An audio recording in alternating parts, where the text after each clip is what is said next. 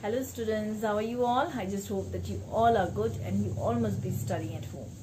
Now students, uh, since I'm receiving your homework, uh, I can still find that students they are not paying attention uh, towards the teacher's explanation and they are not doing their homework properly.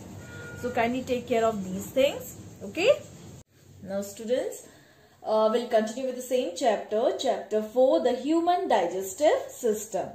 Uh, earlier I told you about the alimentary canal and, the, and various parts of alimentary canal. And I also told you about how digestion it occurs in mouth that is buccal cavity and esophagus. And today you're going to learn about the uh, how digestion it occurs in stomach and other parts of the alimentary canal. So let's start with stomach. Uh, as you can see stomach it is a pouch like structure it is a bag-like structure or a thick walled bag which is present on the left side of our body. Okay. So, uh, esophagus or food pipe, what it does, it brings slightly digested food from the mouth into stomach. In mouth, uh, what happens? The food, it gets chewed and it is broken into smaller pieces uh, and more soft pieces and then from there uh, food it travels to the stomach okay?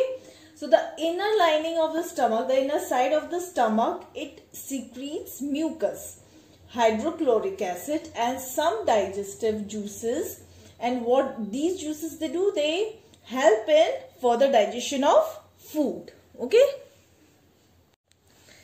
Now students uh, comes small intestine now small intestine, uh, it is actually a coil-like structure here. You can see this is a coil-like structure and this one is large intestine. Okay. Uh, this small intestine, it is very long tube uh, and it is about 7.5 meters long. Though it is a very long tube, it is called small intestine because it is it is very narrow tube. Okay. Uh, it is a main region for the absorption of digested food. Here digestion, uh, the here absorption of digested food takes place here in small intestine. Now it has got three main parts. What are they?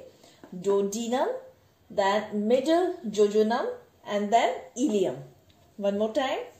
Duodenum, middle jejunum and ileum.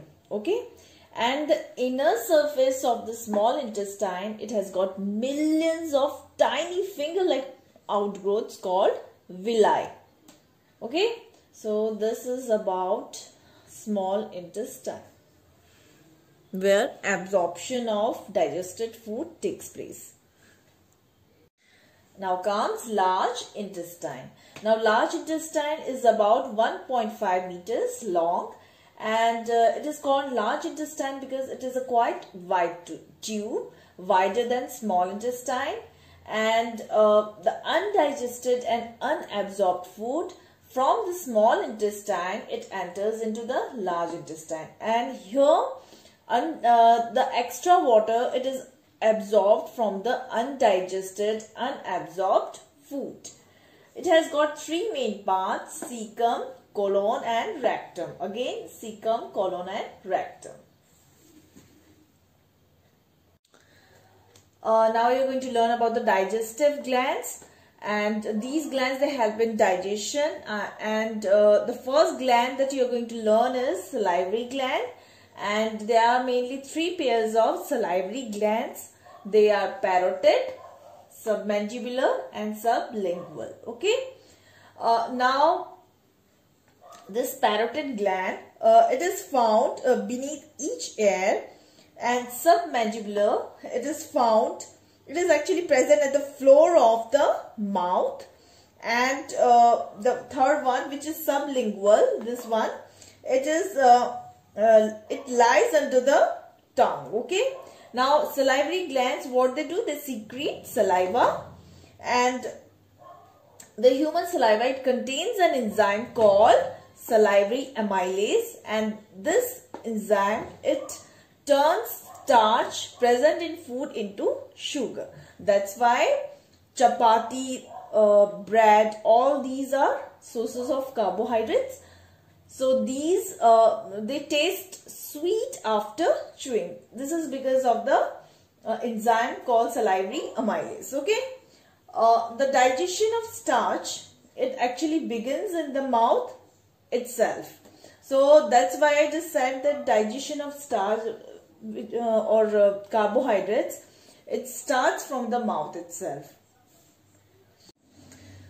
Now the second digestive gland that you're going to study is liver and uh, liver it is the largest gland of the body uh, you can see the structure and it lies on the right side below the chest region and it is reddish brown in color and rubbery to touch okay you know how rubber feels like so it secretes bile. Now what is bile? Bile is a greenish yellow colored fluid. Okay. And uh, this bile, it plays a very important part in the digestion of fats.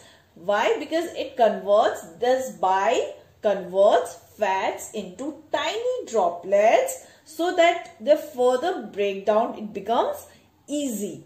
So uh, this is called, this whole process is called emulsification of fats. What is emulsification of fats? Uh, conversion of fats into tiny droplets. Okay. Now the third or the last uh, digestive gland is pancreas. Here you can see its structure.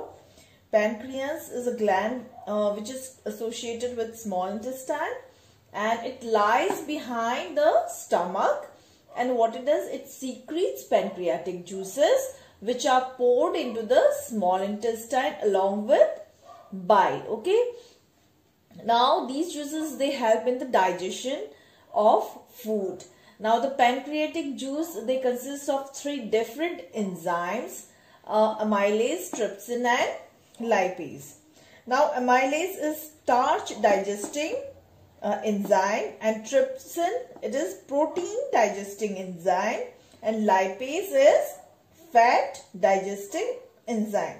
So starch is broken down into glucose, protein is broken uh, into amino acids by trypsin and fats they are uh, converted into fatty acids and glycerol by lipase okay